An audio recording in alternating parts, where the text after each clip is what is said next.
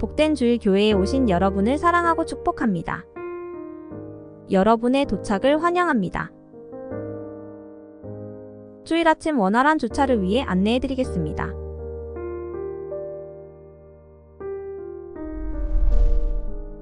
교회 주변의 1주차장은 예배 전 만차가 됩니다. 이를 위해 영락 2주차장과 3주차장 이용 방법을 안내해 드리겠습니다. 먼저 2주차장은 빅토리아 파크로 나오셔서 신호등을 지나 직진해 주세요. 전신주를 만나 우회전을 하시면 이곳이 영락 2주차장입니다. 이어서 3주차장을 안내해 드리겠습니다.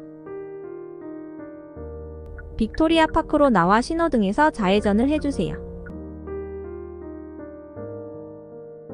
그리고 첫 번째 골목에서 우회전을 해서 안으로 들어오시면 이곳이 영락 3주차장입니다.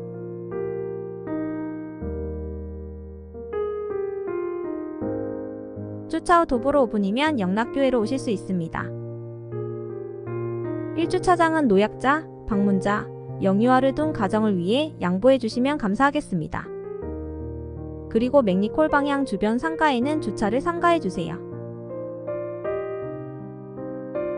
아름다운 주차로 행복한 영락의 문화를 만들어 갑시다. 여러분의 도착을 환영합니다. 복되고 은혜 가득한 주일 되세요. 영락 가족 여러분 사랑하고 축복합니다.